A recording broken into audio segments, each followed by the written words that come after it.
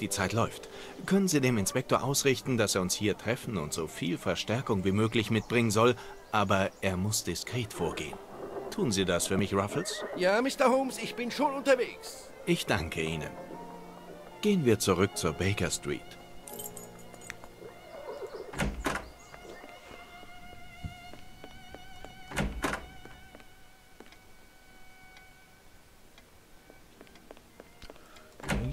Orden schon wieder da? Ach so. Schade, kann ich nicht reingucken. Äh, was machen wir denn hier? Aufgestanden, Watson. Es ist Zeit. Die Welle! Sie verschlingt mich! Die Tentakel! Ah, ah, Keine Decke? Armer Mann. Kommen Sie, mein Freund, Sie haben es überstanden. Fassen Sie sich. In einer halben Stunde sind wir mit dem Premierminister verabredet. Ich träume wohl immer noch. Premierminister? Dies ist unser nächstes Ziel, Watson. Das britische Museum. Kommen Sie, Beeilung. Im Moment liegen wir vorn und ich will, dass das auch so bleibt.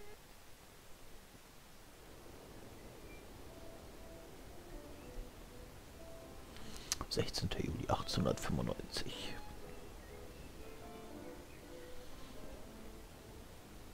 Wie geht es Ihnen, Herr Premierminister? Lestrade? Mr. Holmes, trotz Ihres legendären Scharfsinns und der überdurchschnittlichen Intelligenz, die Ihnen ganz England attestiert, sind Sie doch meilenweit davon entfernt, auch nur zu erahnen, wie verärgert ich bin.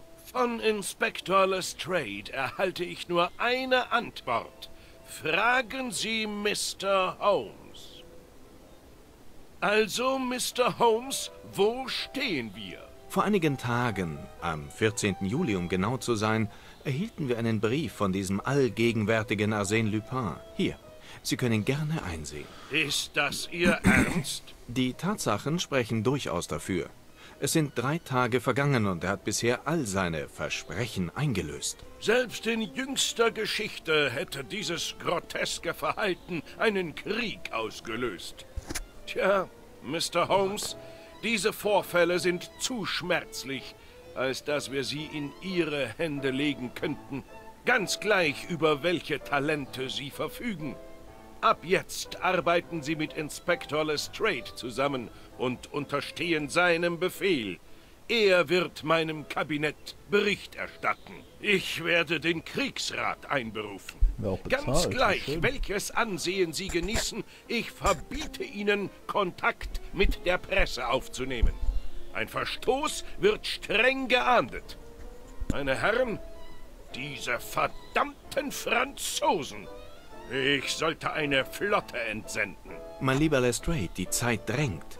Das Museum ist wie ausgestorben. Hat es geschlossen? Nein, aber da gerade umgebaut wird und die meisten Galerien geschlossen sind, gibt es kaum Besucher. Das trifft sich gut. Schicken Sie die restlichen Besucher und Arbeiter nach Hause. Versperren Sie den Eingang und lassen Sie Ihre Männer das Gebäude umstellen. Von jetzt an darf niemand das britische Museum betreten. Kommen Sie, Watson. Wir sollten sicherstellen, dass sich Lupins nächstes Objekt der Begierde noch innerhalb dieser Mauern befindet. Warten Sie, ich habe einen Plan vom Museum. Der Wärter hat ihn mir gegeben und er könnte sich als nützlich erweisen. So, dann rein ab. Und Sie haben keine Ahnung, was hier vor sich geht? Nein, nicht die geringste. Aber es ist amüsant, all diese hübschen jungen Männer in Uniform zu beobachten. Ach, Inspektor, Sie sind vielleicht witzig. Sie sind verhaftet. Und jeder, der... Oh, hallo, die Herren. Was können wir für Sie tun? Guten Tag, mein Name ist Sherlock Holmes und das ist Dr. Watson. Habe ich die Ehre, mit dem Museumskurator zu sprechen? Nein, Sie beehren nur den Wärter. Können Sie mich so schnell wie möglich zum Stein von Rosetta führen? Natürlich. Folgen Sie mir.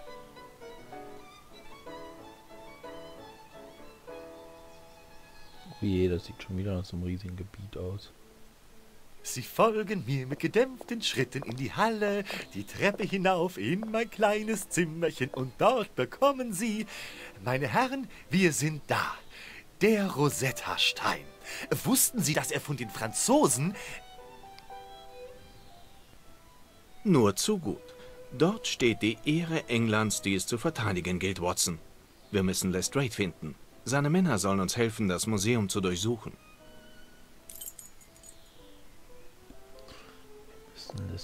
Der berühmte Stein von Rosetta. Nach Thomas Youngs Entdeckung konnte Champollion das große Rätsel der Hieroglyphen vollständig entziffern. In der Tat wurde dieser Text, ein ptolemäisches Dekret aus dem Jahr 196 v. Chr., in drei Sprachen aufgeschrieben. In Hieroglyphen, in Demotisch, einer weit verbreiteten Schrift zu jener Zeit, und zum Schluss in Griechisch. Kann er nicht gucken, ne? Wenn ich am Reden bin. Sarkophag aus Schluffstein von Sasobek, Wesir von Oberägypten. Ha. Es ist eine antike babylonische Tür. Schön. Neuassyrisches Steinrelief, das eine Hommage an König Assur-Nasirpal II. darstellt. Der Affe ist ein sehr begehrtes Tier in der mesopotamischen Kunst, ein exotisches Tier von großem Wert. Riesige Büste von Ramses II., Ramses dem Großen. So, ja, hier gibt ja viel zu sehen. Das ist unglaublich. Ägyptische Stele. Grandioritbarke mit einer Statue von Königin Mutemvia, die die Mutter von Amenhotep III. war. Sarkophag von Habmen, im Moment nicht ausgestellt. Ein Geschenk von König George III.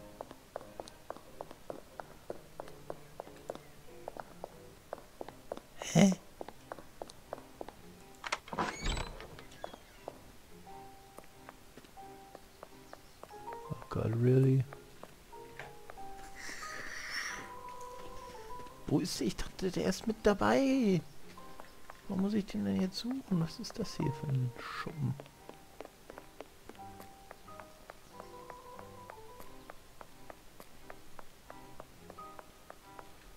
Keine Vorkommnisse, Mr. Holmes.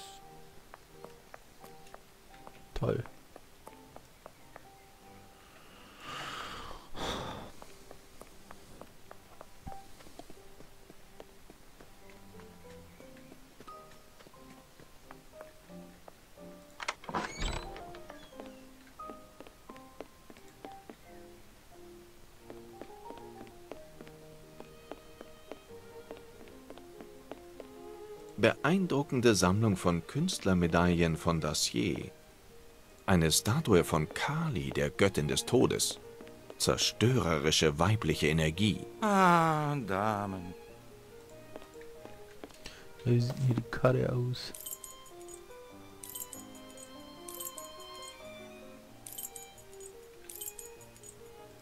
Wahrscheinlich im Dauerausstellungssaal, ne? Eine Skulptur aus der römischen Epoche.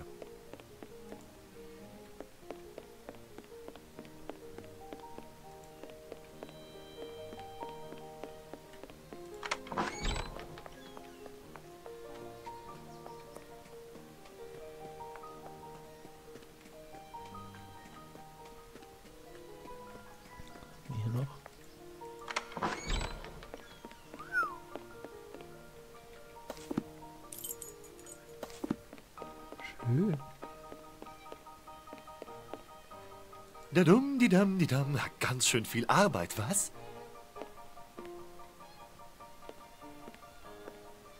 Sind das schon wieder verkleidet oder was? Alter, was für ein krasses Teil hier. Huch, wo ist denn die Tür? Ich sehe schon wieder so schlecht. Das nervt sehr.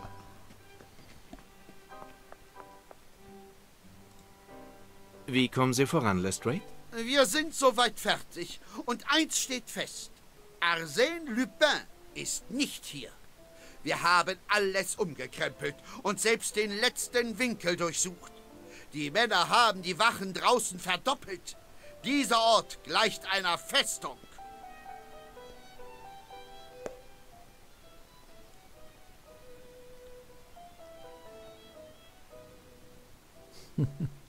Vier Männer den Stein an, geil. Ausgezeichnet. Arsène Lupin ist nicht im Museum und wir sorgen dafür, dass er es auch nicht betritt. Niemand durchbricht diese Mauern, Lestrade. Niemand. Holmes, es sind bereits zwei Stunden vergangen und äh, wir haben noch nichts gegessen. Äh, können wir nicht... Äh... Gewiss, Watson.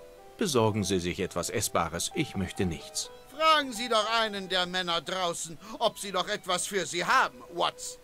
Kommen Sie, Inspektor. Lassen Sie uns den Plan noch einmal durchgehen.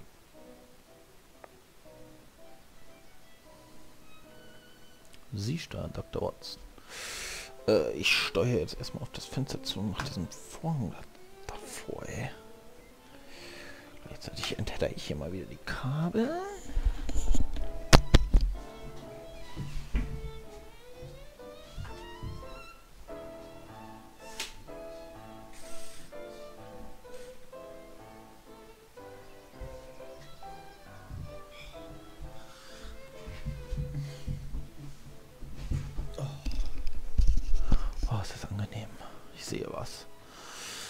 Ich steuere Dr. Watson draußen, den Männer fragen, ob sie noch was zu essen haben. Ja, wird. Äh, nein, dort habe ich nichts verloren.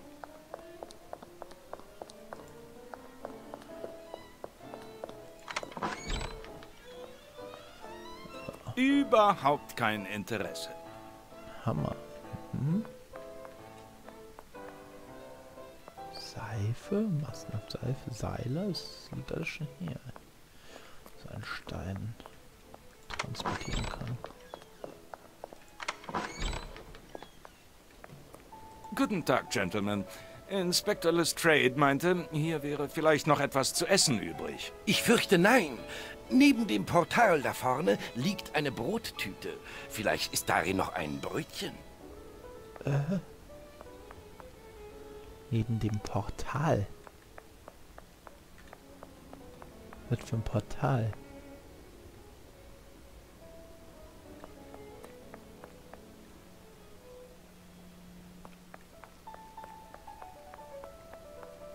Guten Tag, Gentlemen. Inspector Lestrade meinte, hier wäre vielleicht noch etwas zu essen übrig. Ich fürchte nein. Neben dem Portal da vorne liegt eine Brottüte. Vielleicht ist darin noch ein Brötchen.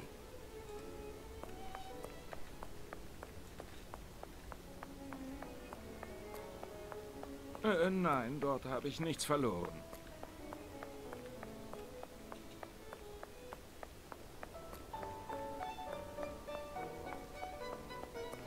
Äh, nein, dort habe ich nichts verloren.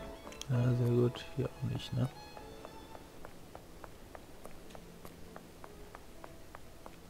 Neben dem Portal. Da. Ah, das sieht aus wie die Brottüte der Polizei. Ja, es ist eine Mülltüte, keine Brottüte. Psst. Hey, Doktor. Psst. Um Himmels Willen. Was tun Sie denn hier? Auf der Straße munkelt man, etwas Großes ist im Gange. Ist das wahr? Ähm, ja. Ich, ich meine, nein. Sie müssen trotzdem von hier verschwinden. Keine Chance, Doktor. Ich will meine Sensation. Sie haben es versprochen und es wird Zeit, dass Sie Ihr Wort halten. Was? Was soll ich tun? Bringen Sie mich rein. Ich schieße heimlich ein paar Bilder und eine Riesenschlagzeile ist mir sicher. Kommt nicht in Frage. Wenn Sie einer der Polizisten sieht, wandern Sie direkt ins Loch.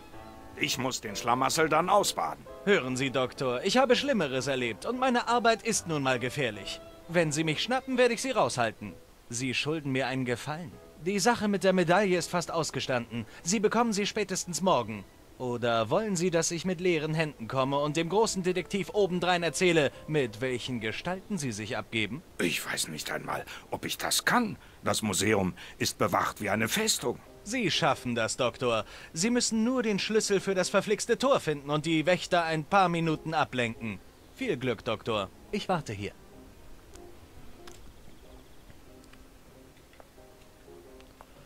Schlüssel für das Tor.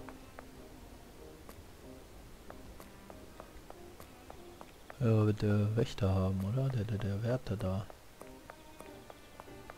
Nur der Vollständigkeit halber. Ich versuche einfach mal noch hier hinzugehen. Äh, nein, dort habe ich nichts verloren. Sehr schön.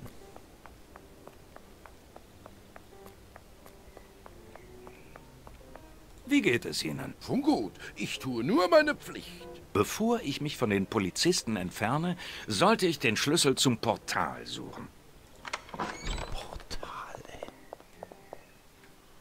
So, äh, kann natürlich entweder hier hinten rumfliegen irgendwo. Glaube.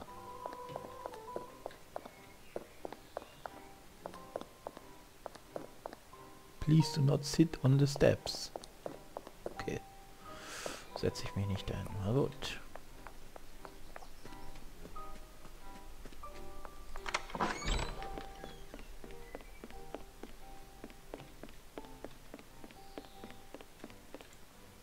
Wie sieht es aus, mein Freund? Alles in Ordnung? Grundgütiger Ja. Keine Besucher, kein Lärm.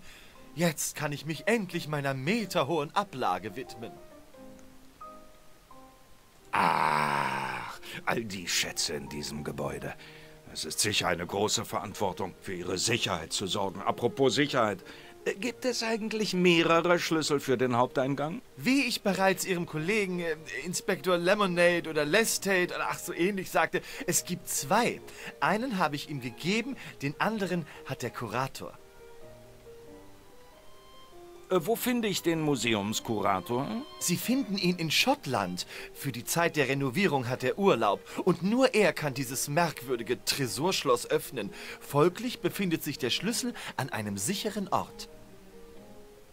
Demnach befindet sich der Schlüssel im Büro des Kurators. Ja, gleich neben dem Eingang. Der Architekt ist gerade dort.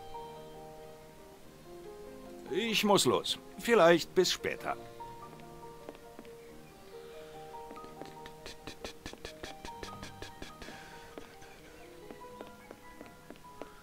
Nicht in die falsche Richtung laufen.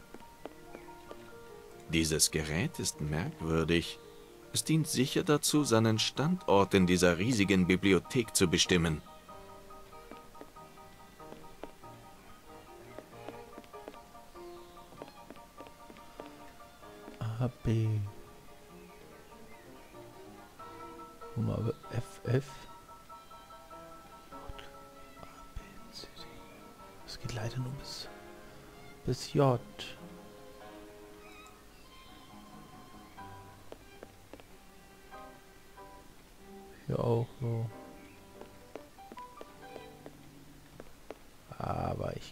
Sogar noch hoch.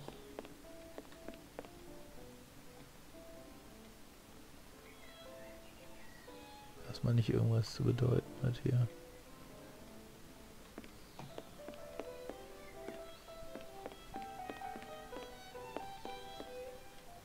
Dieses Gerät ist merkwürdig. Es dient sicher dazu. So, auf zum Eingang.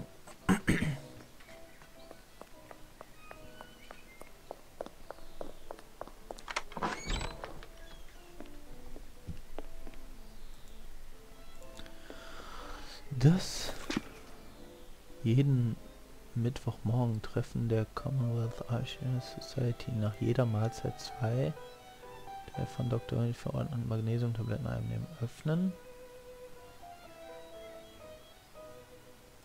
Die Gedächtnisstütze des Museumsdirektors. Offensichtlich leidet er an Gedächtnisverlust. Er notiert sogar eine Art Hieroglyphen.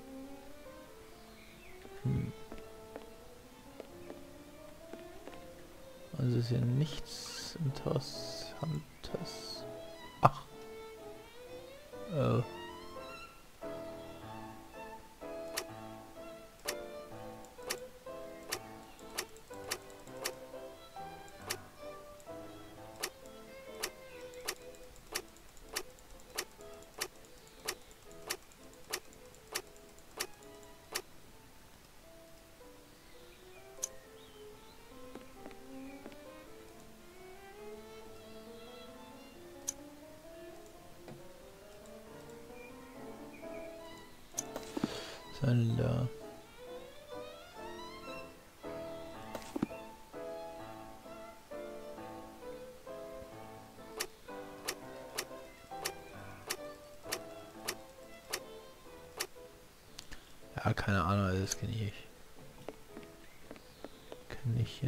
Nicht.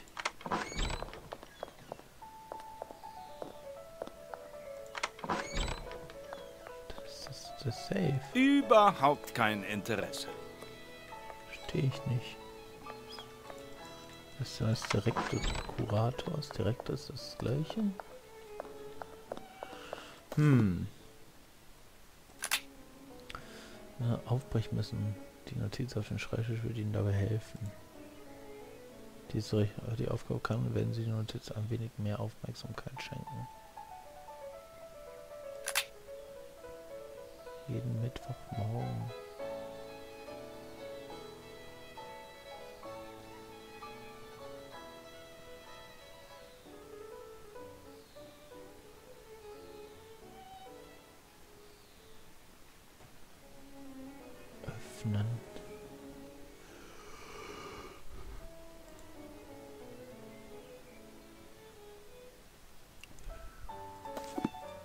Wahrscheinlich ist das irgendein Mail oder so. Dann drehen sich Pfeile und die grünen Pfeile gegen den Uhrzeigersinn.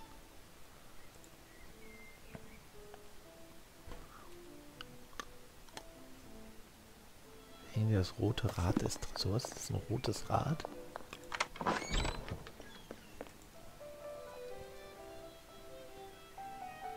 Da ist kein rotes Rad. Das da oder was?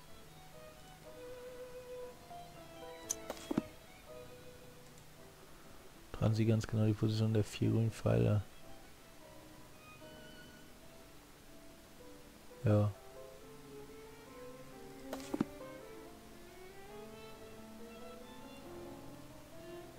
Dreißig, dreißig, fünfundvierzig.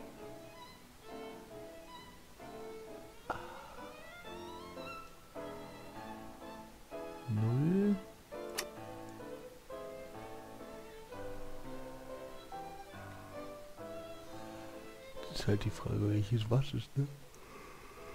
Oh, was ist das hier? Wird die 75 sein, ne? Was ist das für 75? Oh, ernsthaft? Eine 1? Aber lass mal auf die 75, ne?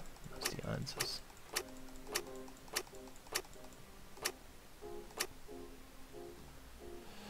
So, das ist auf der 30. Also auf die 45.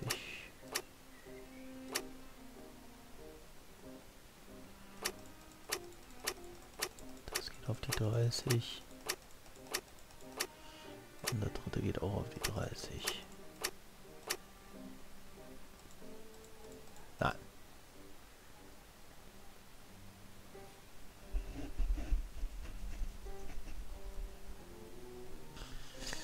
ist ja auch schon die 45 hier.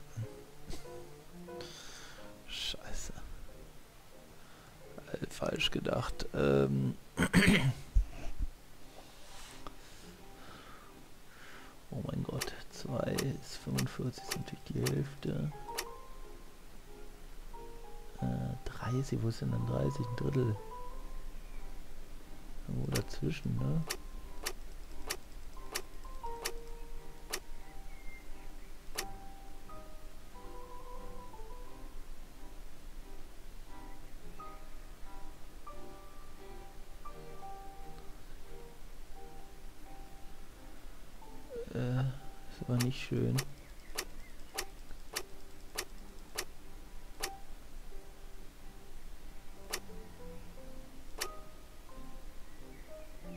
Hälfte von 45 ist ja nicht 30. Es ist ja. Es ist ja. Äh, ja. 22,5 oder was? 22,5.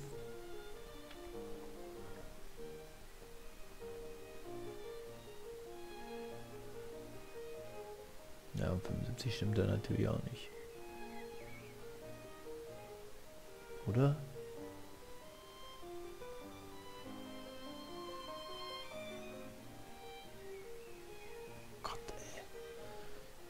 Ist das. Ähm. Das ist ja die 60. Nee. 45 plus 22,5. Also so.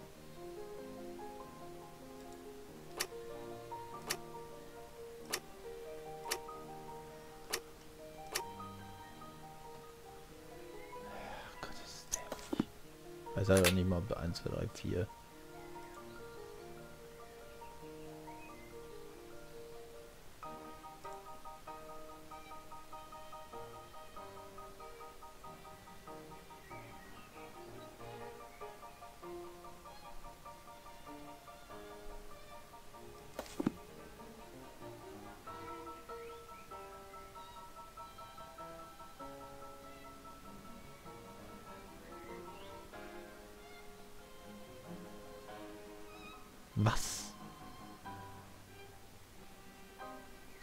was soll dann die 90 da? Was ist das bescheuertes?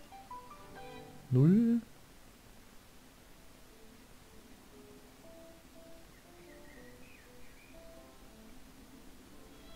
Dreißig, fünfundvierzig. Also fangen wir mal bei der 1 an. Das ist angeblich 75, 15, 30, 45, 60, 75. So. Dann kommt die 45. Dann die 30. Ja, das, das ist bestimmt richtig. Das ist so bescheuert.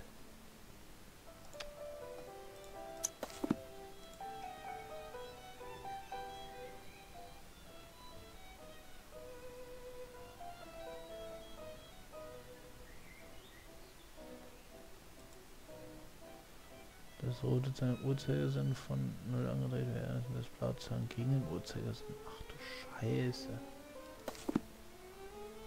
Rote Zahlen, was?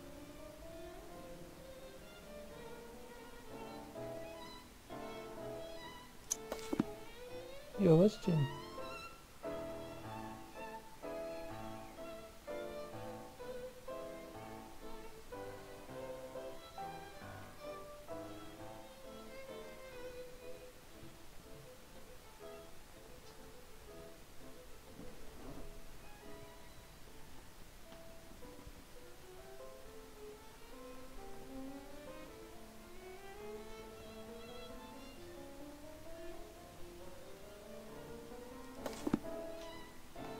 Was rote Zahlen im Uhrzeigersinn? Ähm, okay, rote Zahlen im Uhrzeigersinn. Blau dagegen. Also die 1 ist schon mal komplett falsch.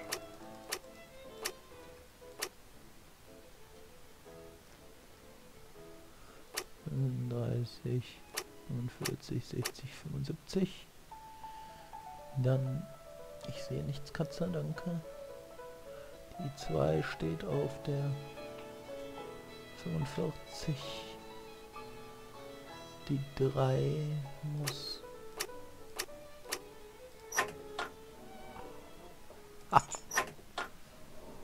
Was machen Sie da? Ich ähm, wollte nur überprüfen, ob der Tresor verschlossen ist. Ach ja?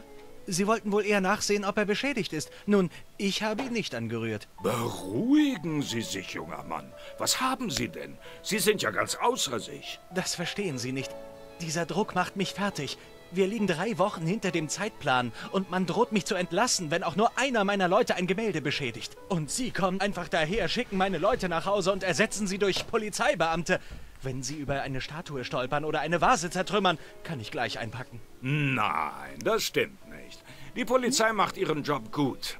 Und sie werden sich von zerbrechlichen Gegenständen fernhalten. Außerdem sind die Statuen so schwer, dass sie gar nicht umfallen können.